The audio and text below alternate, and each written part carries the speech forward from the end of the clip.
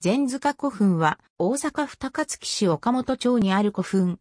形状はホタテ貝形古墳。史跡指定はされていない。大阪府北部、高槻市北部の弁天山丘陵を南に振り切った地に築造された古墳である。現在までに開墾等により、墳丘が一部作兵を受けているほか、墳丘南側に引かれた道路により、集合が分断されている。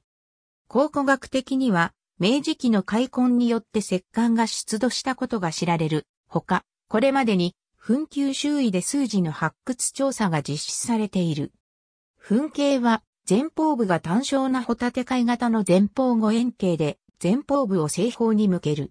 墳丘表面では吹き石、埴輪片が検出されている。また、墳丘周囲には幅10から17メートルの集合が巡らされており、集合を含めた古墳総長は120メートルに及ぶ。主体部の埋葬施設の構造はつまびらかでないが、前述の明治期の開墾の際に、業界岩製長持ち形石棺が出土したことが知られ、その際には副葬品も出土したという。この前塚古墳は、出土派には、出土石棺より、古墳時代中期の5世紀頃の築造と推定される。かつては、近在の今城塚古墳の倍長とする説もあったが、現在は先行古墳に位置づけられる。出土石棺は1974年に大阪府指定有形文化財に指定されている。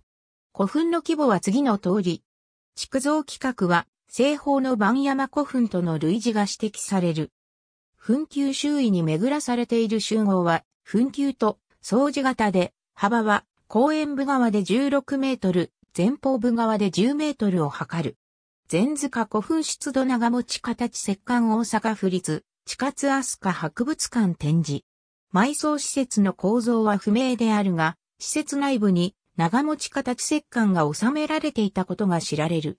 この石棺は、明治期の開墾の際に露出して発見されたもので、業界岩製であり、長さ約2メートル、幅約0.6メートル、高さ約0.8メートルを測る。蓋は、いわゆる陰道街の形状で、かまぼこ状を呈し、即席には、各一個の縄掛け突起を有する。突起のある前後両端には三角形の沈国分も認められている。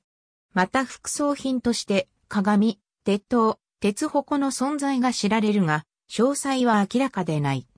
この石棺は、大阪府指定有形文化財に指定されている。実物は長らく大阪府立茨城高等学校に、また、レプリカが大阪府立茨城高等学校に展示されている。ありがとうございます。